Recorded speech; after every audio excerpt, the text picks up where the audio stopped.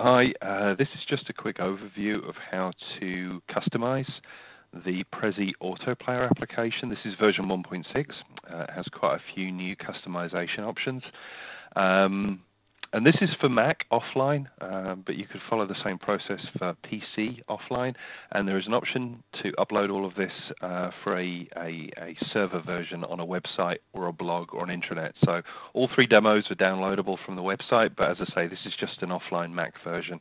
So what I've done is I've um, just created a simple folder and I've downloaded loaded, uh, a Prezi I created online.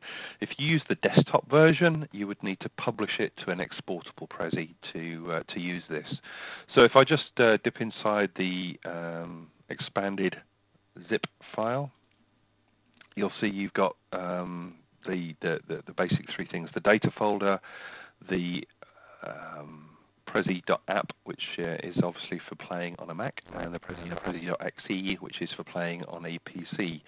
So um, if I just open this, uh, so the standard Prezi, you, you can kind of click this button here in a second, and you can select autoplay, and it gives you four, 10, and 20 seconds, uh, and it will loop. Um, but in certain occasions that probably isn't uh, flexible enough because if you're running this in autoplay, you may want to um, create a longer pause at a certain a certain path point to play a video or to show more information.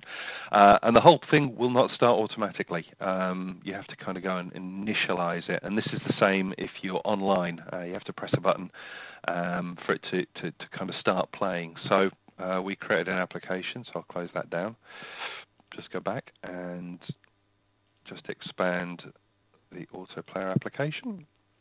So if you look inside this, you'll find, you'll find three items. I'll just copy those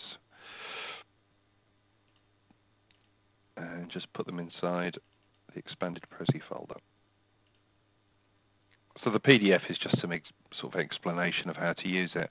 The two things that are important are the Prezi Auto Player app, app. So you don't use this Prezi, you use Prezi Auto Player, and the Slidedynamic XML file. Uh, I'll show you how to use that in a moment. That configures all the customization and how long uh, Prezi you know, pauses at each path point. So um, just to start this now, see what it looks like. So the first thing is uh, you can customize all of this. I'll explain in a moment. You can set the the pause before the the the, uh, the Prezi application starts. So not so relevant offline because it starts pretty much straight away. But for online, it does tend to hang while it's loading, loading, which can be a little off-putting.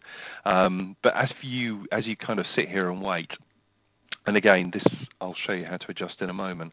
Um, will automatically obviously transition through. And if you've got audio, it will play audio and it will sync it. But I'll uh, I'll cover that in a different um, different overview. So let me just close that for a second. So it took a bit of time for it to start, and um, obviously the the preloader needs to be changed. So the way we go and do that is we need to adjust this this XML file, and the way we, the way we can do it, if you go to the website, not there. Uh, let me go here.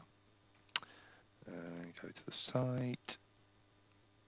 Find this on our website, but basically this is how you configure the application. So the first thing you need to do is either create a new uh, XML file, which you can do by just adjusting all of these things and selecting download, or if you have one that you've already configured and you want to adjust it, you can just upload it.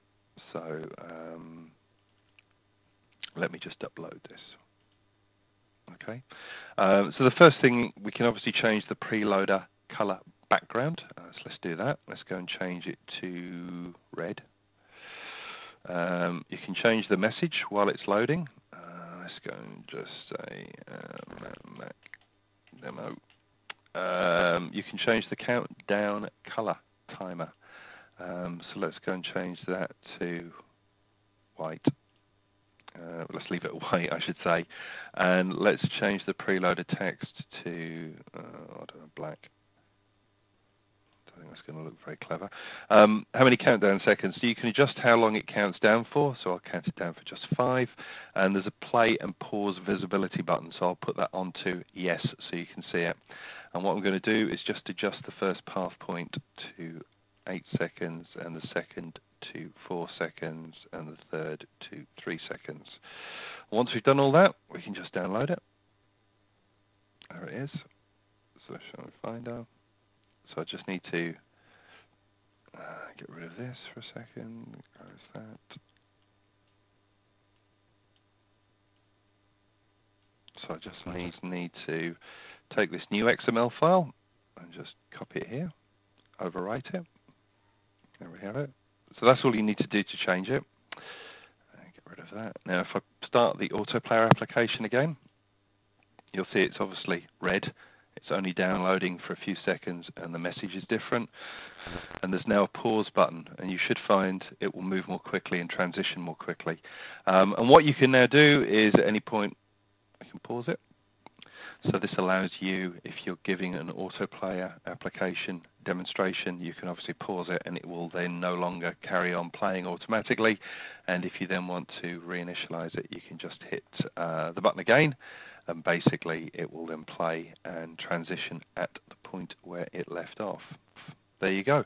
So that's how you configure it. Uh, that's for um, a Mac. But as I say, you'd follow the same process, obviously using the Prezi.exe version for an offline Prezi autoplayer in uh, a PC.